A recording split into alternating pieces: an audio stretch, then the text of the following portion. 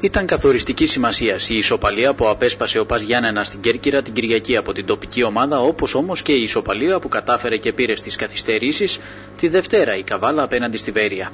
Η τριάδα της Β' Εθνικής με τους Πας Γιάννενα, Ατρόμητο και Καβάλα πολύ δύσκολα θα σπάσει και όπως φαίνεται οι τρεις αυτές ομάδες θα είναι εκείνες που θα κερδίσουν την άνοδο.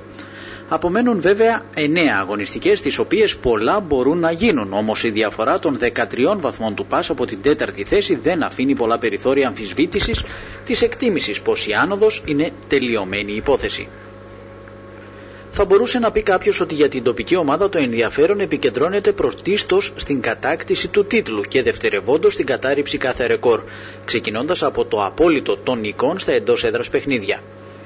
Μέχρι στιγμής οι Γιαννιώτες έχουν 13 νίκες σε εισάριθμα παιχνίδια και φιλοδοξούν την Κυριακή απέναντι στο Διαγόρα να πετύχουν τη 14η νίκη. Είναι η μοναδική ομάδα της χώρας που διαθέτει το απόλυτο των επιτυχιών στην έδρα της και μετά από προσεκτική ανάλυση των στοιχείων είναι και η μοναδική στην Ευρώπη στις εθνικές κατηγορίες. Επίσης, οι Γιαννιώτες μπορούν να σπάσουν το ρεκόρ της καλύτερης επίθεσης στο πρωτάθλημα και γενικά αλλά και σε αντιστοιχεία με τον αριθμό των αγώνων. Από σήμερα ξεκίνησε η προετοιμασία για το παιχνίδι με το Διάγορα που θα αρχίσει την Κυριακή στις 2.30 το μεσημέρι και όχι στις 3 αφού οι Ροδίτες θέλουν να επιστρέψουν αεροπορικό στη συνέχεια για την Αθήνα και από εκεί στη Ρόδο. Στο παιχνίδι της Κυριακής θα επανέλθει ο Λουτσιάνο που έχει μία ακόμη αγωνιστική τιμωρίας να εκτίσει ενώ θα απουσιάσει και πάλι ο Λούκας Τριμόλδη. Στην Κέρκυρα 7 κίτρινες κάρτες συμπλήρωσε ο Ντάσιο και 4 ο Γκουγκουλιάς. Ο πρώτος θα εκτίσει την ποινή του στα παιχνίδια με Καλαμαριά και Καλαμάτα και ο δεύτερος στο παιχνίδι με την Καλαμάτα.